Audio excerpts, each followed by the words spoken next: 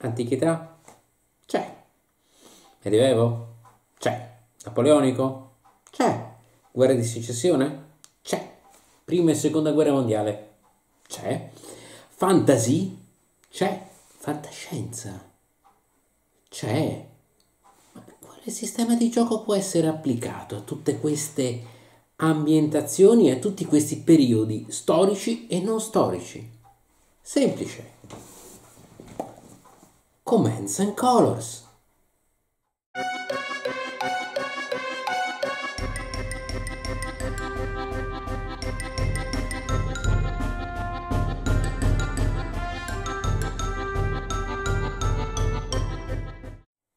Ciao a tutti, sono Riccardo Masini e questo è Vlog. In questo video parliamo di un sistema fantastico, un sistema meraviglioso al quale io sono veramente molto molto legato, anche un po' emotivamente perché è stato uno dei sistemi di gioco che mi ha riportato verso il wargame storico dopo anni in cui mi ero più dedicato al tridimensionale, quindi al gioco con le miniature, sia storico che non storico. E questo sistema è, si chiama Commands and Colors, di cui appunto vediamo qui in questo bellissimo medieval, che poi ci accompagnerà anche nel segmento sul tavolo, quindi nel secondo segmento di questa miniserie di episodi. Beh, è un sistema veramente particolare, non lo vediamo qua su Medieval, dicevo, eh, Medieval è, eh, mi pare, credo, l'ultima incarnazione di questo sistema. È difficile perché il sistema di Commands and Colors, lo vedremo molto presto, in realtà abbraccia un po' una marea di periodi storici, praticamente tutti, è stato riutilizzato praticamente per tutti i periodi storici, ma non solo, anche in ambientazione fantasy e anche in ambientazione fantascientifica.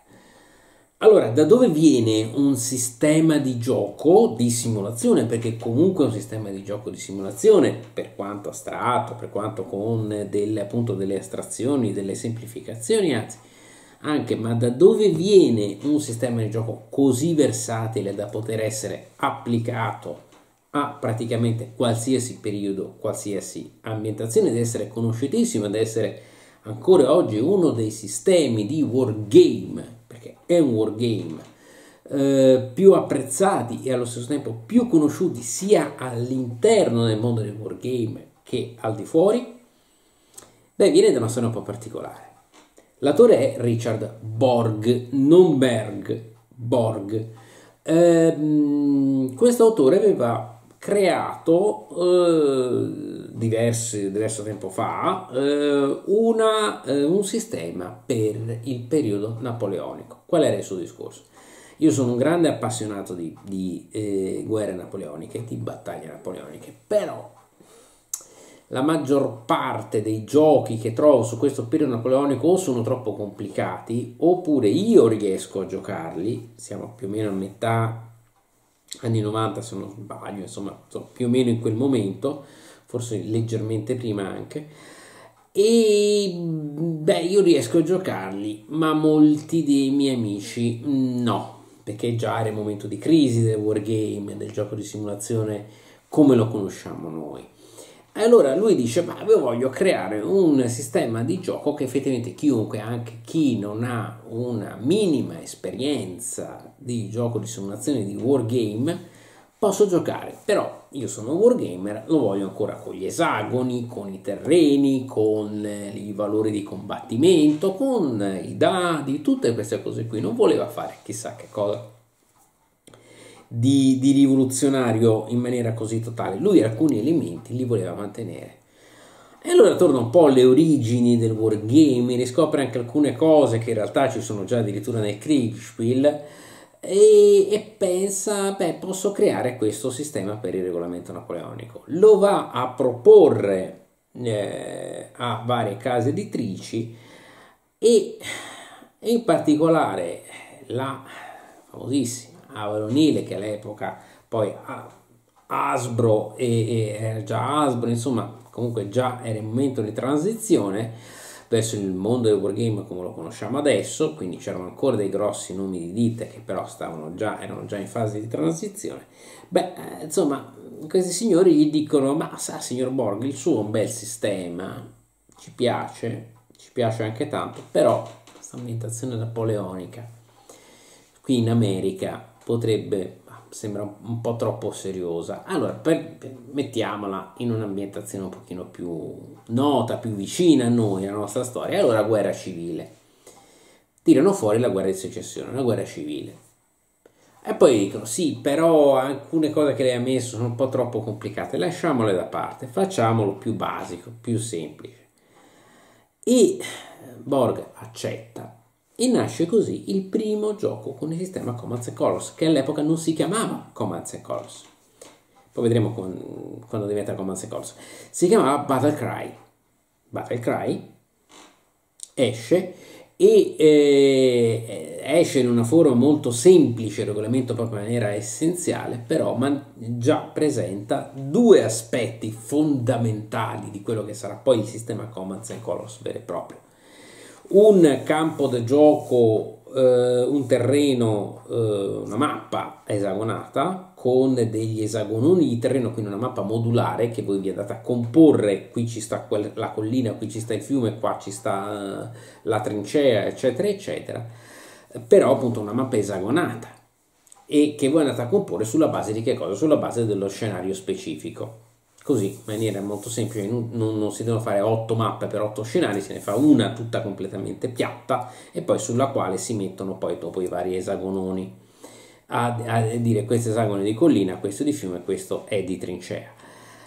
E poi, altra cosa fondamentale, questa mappa è divisa in tre settori. Questi tre settori corrispondono appunto al centro, sinistra e destra del, dello schieramento e si tirano delle carte, si estraggono delle carte eh, che comporre propria mano di carte e queste carte vi diranno puoi muovere due unità a destra, puoi muovere un'unità a sinistra, una nel centro, una a destra, puoi muovere tutta la tua fanteria in un unico settore, eccetera. Oltre a questo, l'altro grande aspetto, l'altro grande elemento di questo, di questo, sistema di gioco è che non ci sono tabelle o controtabelle, CRT, vedere i rapporti di forza, no, semplicemente si mandano avanti le unità che sono rappresentati all'epoca in Battlecry da delle miniature, cioè dei soldatini di plastica classici, eh, e eh, appunto ognuno tirerà un certo numero di dadi speciali, qui rientra Kriegspiel perché usava un sistema molto simile, di dadi speciali che al posto delle, dei valori numerici su ogni faccia da 1 a 6 riportano eh, delle sciabole, riportano il simbolo della fanteria, il, simbolo della cavalleria, insomma voi tirate questi dadi e vedete subito dell'altra unità quanti soldatini ho eliminato, quanti si deve ritirare, eh, ce l'ho fatta a eliminarli in corpo a corpo oppure a distanza, eccetera, eccetera. Quindi non c'era una tabella, voi tirate questi dadi speciali e immediatamente i dadi speciali vi dicono l'unità nemica che tu hai attaccato perde due pezzi perché è di fanteria, quindi perde, cioè uscire due, due simboli di fanteria e poi una bandiera, quindi si deve ritirare. Ok quindi con dei risultati anche molto variabili, più variabili con maggiori gradazioni rispetto ad una tabella di combattimento classica. Beh, questo sistema piace.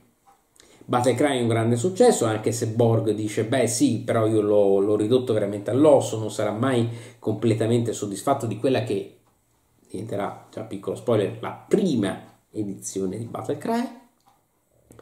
Poi arriviamo un pochino più in là, e arriviamo ad un anniversario del, dello sbarco in Normandia dove un'altra casa editrice, la Days of Wonder, gli chiede senti ma tu che hai fatto questa cosa molto bella, molto carina sul, sulla eh, guerra civile americana, ma ce ne fai una versione eh, ancora più accomodata sulla seconda guerra mondiale perché noi ci chiamiamo Days of Wonder e noi abbiamo la possibilità di venderla negli shop, nei negozi per l'anniversario, in uno degli anniversari dello sbarco in Normandia. Borg fa questa versione e la chiama appunto per gli shop, per i negozi della Normandia, per i souvenir, non la può chiamare souvenir, la, la chiama come Memoir 44. e nasce appunto Memoir 44 che è oggi probabilmente la versione più conosciuta del sistema dei Commands and Colors anzi anche se è ancora più semplificata per certi versi con ancora più astrazioni rispetto almeno al suo aspetto base rispetto a Battlecry quindi il sistema tende appunto a rimanere sul semplificato sull'astratto anche se poi poi diverse uscite di Memoir 44 aggiungeranno ulteriori livelli di complessità e di dettaglio perché diverse uscite? Perché Memoir 44 è un successo pazzesco. Eh, a Memoir 44, tanto, tanto, più che un successo pazzesco, che quindi non gli basta più sul base, ma comincia proprio un'intera linea di prodotti per Days of Wonder. Days of Wonder chiede a Richard Borg: Ma allora senti, adesso fai una cosa, ma tu avevi questa bella idea del napoleonico. Noi il napoleonico non piace, però non c'è un altro periodo in cui tu lo puoi eh, adattare. Beh, sì, ci sarebbe se volete. Io posso, ho in mente un'idea per, per il Medioevo e loro dicono: Sì, il Medioevo è carino, ci piace, però non è solo il Medioevo. Senti, ma se facciamo anche un fantasy, anzi, meglio ancora, se uniamo le due cose, facciamo una specie di Medioevo fantasy in cui c'è la storia normale umana, però le nazioni ognuna corrisponde ad una certa razza che a me ricorda, ricordi appunto delle miniature, ricorda un po' Flintlock con Napoleonico. Vabbè, insomma, da questo un po' mischione nasce Battlelore che è stato un po' un pasticcio in realtà, lì la, la, l'idea iniziale era buona, Borg aveva inserito alcuni aspetti di costruzione del mazzo prima della partita, dell'esercito, delle caratteristiche dell'esercito, c'era più asimmetria, era, c'era molte cose interessanti. Days of Wonder, anche se ha un ottimo successo Battlelore, Battlelore scusatemi, mh, le espansioni le, le, mh, le, pasticcia un pochino con le uscite, eccetera, insomma si vede anche che Borg a un certo punto non è più del tutto convinto, insomma, però comunque sia, questa cosa va avanti. Da non confondere poi con, cosa? con il fatto che anni dopo arriverà Fantasy Flight a prendersi il nome Battlelore e a creare una serie di giochi che avranno, si chiameranno ancora Battlelore da una parte o da un'altra oppure riambientati nel Trono di Spade e parte il eh, wargame del Trono di Spade li chiama a Battlelore Game, cioè un gioco della serie Battlelore anche se poi avrà, magari lo vedremo in una puntata prossima delle variazioni completamente diverse rispetto al sistema di Commands and Colors. Eh, però ecco, come vedete, questi nomi, questo sistema comincia a girare tra diverse case editrici.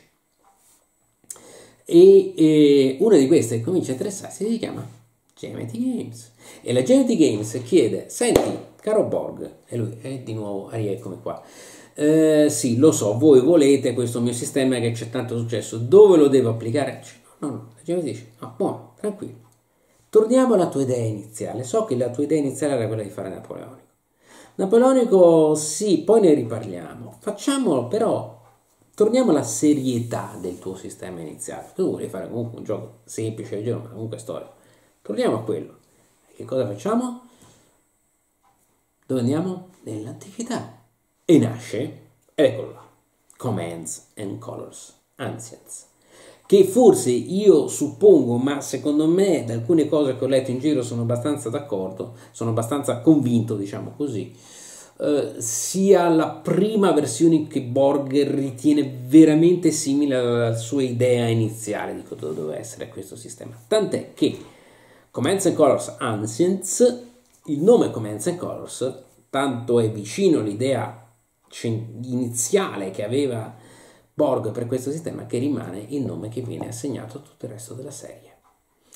E da allora tutti gli altri sistemi si chiameranno sistemi alla Commands and Chorus, anche se nel corso degli anni successivi verranno utilizzate da altre case editrici eh, con altri contratti, ovviamente sempre con questo Borg che comincia ad avere un certo volto in banca, siamo molto felici per lui, e, eh, però anche se hanno altri nomi tutti pensano, eh ma è un sistema tipo Commands and Colors. Quindi Commands and Colors diventa il minimo comune denominatore di questa idea, perché poi è un'unione di parole, se voi ci pensate, che riunisce molto bene i due concetti essenziali della, della serie, che poi adesso vedremo nel, nella parte dimostrativa sul tavolo. Commands, cioè comandi, ordini che vengono dati tramite carte sulla mappa divisa a settori, and colors, Colors è un po' ambiguo in inglese, significa sia colori, perché ogni unità è identificata da uno specifico colore, che bandiere, che simboli, che standardi. Okay? Il,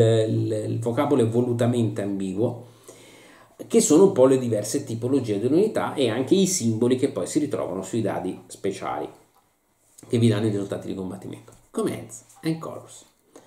La serie, anzi il sistema, l'abbiamo detto, ha un successo estremo e sopravvive sia a gestioni non ideali, abbiamo visto il pasticcio un pochino di Battlelore, che a versioni un po' accomodate come Memoir 44, che poi però evolverà molto, quindi aggiungerà molte espansioni con molte cose interessanti, quindi diventerà forse un pochino meno semplice, ma più interessante anche dal punto di vista storico, che poi dopo evolverà anche in edizioni successive, perché di Battlecry la prima edizione aveva tanti problemi, ma Battlecry poi dopo verrà fatta un'edizione del 150 anniversario dell'inizio della guerra civile, quindi siamo arrivati al 2011, in cui il nostro Borg Beh, Borg eh, risistema un po' le cose, ricrea un pochino il gioco sulla base delle sue esperienze precedenti e, e rimette a posto i mazzi, eccetera. Si rimane sempre molto semplice, molto, ba- molto, base, molto base come complessità, però già stiamo ad un discorso un pochino più serio, molto più bilanciato, quantomeno secondo me molto più giocabile. Secondo me di Battlecry esiste l'edizione del 150 anniversario. La prima edizione sì è carina, è bella dal punto di vista storico, collezionistico, però ha molti problemi. Quella del 150 anniversario li risolve tutti. Morale della favola, il nostro Borg, se ve lo chiedete, sì, alla fine ce la farà fare su napoleonico ed è Commands and Colors Napoleonics che alla fine la GMT gli farà fare e che è qualcosa di fenomenale, ritorna alle origini, finalmente ritorna alla sua idea iniziale ed è probabilmente, a mio parere almeno, la versione più interessante e più matura di tutto il sistema. Anche se prima sono state tutte quante la serie versioni un pochino così un po' semplificate poi però Napoleonics secondo me è la versione massima. Si vede un po' che poi è partito da lì. C'è simmetria, c'è gestione di mazzi diversi, c'è diversificazione degli ordini, ci sono tante cose, le diverse nazionalità, c'è il sistema che le, le, le, le, unità tirano tanti dati sulla base di quanti blocchetti gli sono rimasti, mentre invece in altri sistemi basta anche, anche un blocchetto, solo una, su una miniatura rimasta e, nostro, e quell'unità comunque continuerà a combattere come se non avesse perso nulla. Ci sono delle motivazioni storiche in Ancients, ah perché in realtà le unità cedevano solo all'ultimo fino, a quel momento, fino al momento del, in cui cedevano, combattevano bene uguale, però vabbè, tanti discorsi, però è chiaro che Napoleonics è probabilmente il più maturo. Uh, eh, GMT appunto mh, mm, continuerà appunto mh, mm, con Ancients con Napoleonics. Adesso l'ultimo l'abbiamo visto adesso è Medieval e lo vedremo sul tavolo cioè sul Medioevo. Quindi è, una, è un sistema che è assolutamente ricchissimo e che poi si diversifica molto. Attenzione non è che tutti i giochi di Commerce Colosso sono uguali. Assolutamente no hanno queste cose le carte e i dadi, la mappa, queste cose un po' di base uguali, però ognuno inserisce qualcosa di diverso.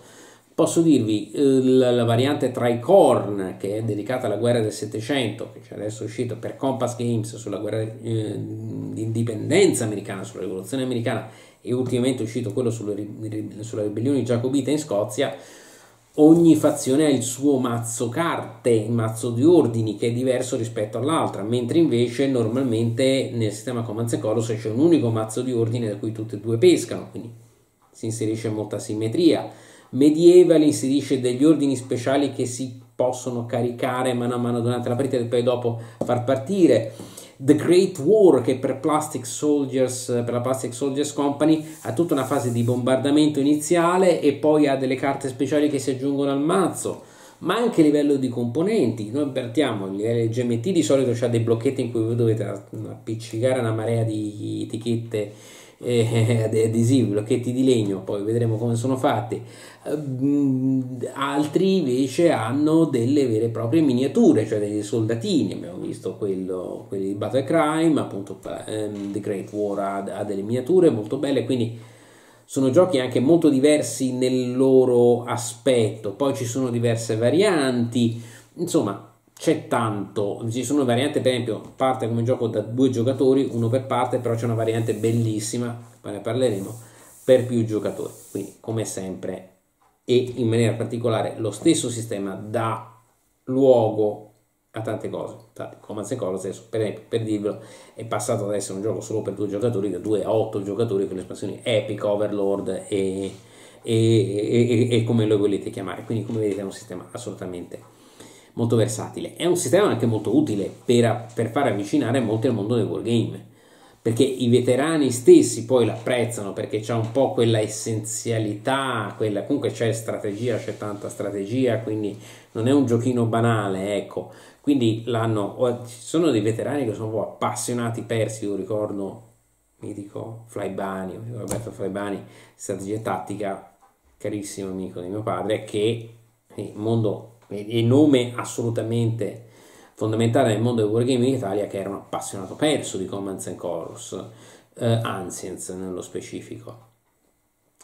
Però appunto dice, dicevamo appunto i veterani l'hanno accettata o come alternativa leggera oppure perché magari una sera non hanno chissà quanto tempo per farsi le solite sparate di ore e ore eh, oppure proprio come una, un gioco ottimo per agganciare delle nuove leve Altri, è vero, hanno popolarizzato, altri hanno rifiutato perché questa interazione, lo vedremo, tra carte, dadi, eccetera, può dare e risultati un po' vola- volatili, chiamiamoli così, possono dare fastidio, però, lo ripeto, il suo valore è il fatto che è stato uno dei primi wargame leggeri, probabilmente uno di quelli che hanno definito la, il concetto di wargame leggero, cioè di una simulazione che comunque ha degli aspetti storici, ma lo fa mantiene questi aspetti storici ma li mantiene con delle regole molto essenziali, molto accessibili a tutti, anche con certe abilitazioni da Eurogame per certi versi, comunque sia alcune cose simili, alcune cose livello concettuale simili, e appunto ha fatto entrare o rientrare molti nel mondo del wargame. È stato uno dei due cose, anche la SCS ha fatto la stessa cosa con me, che comunque personalmente è questo quello che mi è capitato e ormai procede con tanti editori, Days of Wonder, GMT, Plastic Soldier Company, Compass Games, quindi una versatilità, una versatilità assoluta, è stato applicato a tutta una marea di periodi storici, di un periodo storico c'è un Commands and Colors, uh, ci stanno lavorando, e quindi in realtà più quel sistema è diventato ormai un motore, un vero motore adattabile a più, a più ambientazioni che possono essere adattate sia possono essere ricreate sia con l'organizzazione del scenario che introducendo alcune variabili a questo motore per meglio rappresentare alcune cose specifiche di quel, di quel periodo storico. L'artiglieria era più potente, allora facciamo come in Great War Commander che c'è tutta una fase di bombardamento iniziale, c'erano più asimmetrie tra, tra, gli eserciti, allora facciamo degli eserciti con delle caratteristiche nazionali più marcate come in Napoleonics eh, c'erano la necessità di mantenere la linea continua perché se no non mandavi i tuoi comandi, allora facciamo gli ordini di linea come in Commands and Color Ancients, tutte queste cose qua. Um, in estrema analisi io lo definirei un card driven, c'è anche una certa diatriba su questo, ma è un card driven game o meno? Sì, perché c'ha delle carte. E, e gli ordini tu li dai sulla base delle carte, sono le carte che ti dicono quanti ordini puoi dare in quale settore, quindi c'è anche la gestione della mano che ti devi gestire.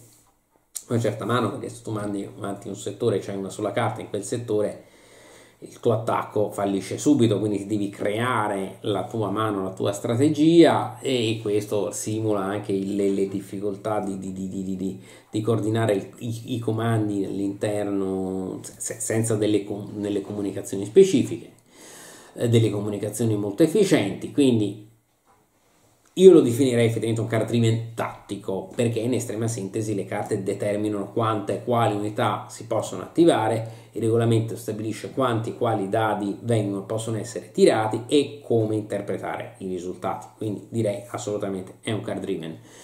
Ehm, con tutto quello che c'è di buono e c'è di, anche di discutibile all'interno di un, di un card driven, quindi dovete cercare di capire che vi state avvicinando a un gioco di quella tipologia lì. Però, ragazzi, gioco pedine piuttosto che blocchetti oppure miniature, storico oppure fantastico, da 2 a 8 giocatori, semplice in alcuni regolamenti più complesso in altri, andiamo dalla semplicità assoluta di Battlecry fino a, fino a un po' alla complessità di Napoleonics insomma lo, lo, si può apprezzare o meno, ma indiscutibilmente si tratta di una preterminale di wargame e secondo me, ma non solo secondo me, secondo tanti è uno dei titoli che hanno, sono stati alla base della rinascita attuale del settore wargame ed è uno assolutamente dei più giocati. Ecco, è un gioco, è un wargame perché è un wargame che voi aprite la scatola e dopo aver etichettato tutti quanti i blocchetti, vabbè, ma se l'avete tutto pronto, vedete, lo spiegate anche a chi un wargame non sa assolutamente cosa, non ha mai giocato niente nella sua vita, manco il risico, e in un quarto d'ora lo giocate. E in un'ora al massimo vi siete fatti uno scenario e visto che ci siamo, ve ne fate anche un altro o rifate lo stesso a parti invertite.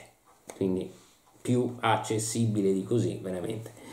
Ehm, abbiamo parlato un po' di alcuni titoli, un po' quelli più importanti per la storia, ma poi ce ne sono tanti altri, cioè Red Alert per esempio per il fantascientifico con le astronavi, quindi come vedete andiamo dagli opliti agli, alle, alle, astronavi, c'è le ambientazioni un po' particolari, il Giappone feudale, c'è Samurai che era della Svezda, che adesso la GMT sta rifacendo con altra componentistica de, di abbastanza vicino all'uscita. C'è Medieval che è appena uscito e per il quale sta uscendo l'espansione sulle crociate, quindi come sempre mm, veramente, veramente tanto.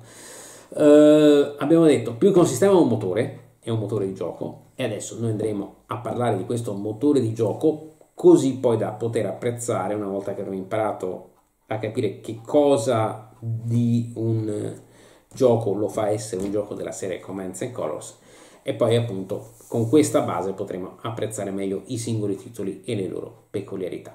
Quindi io adesso vi aspetto nella prossima puntata di questa miniserie che sarà già sul canale sul tavolo da gioco.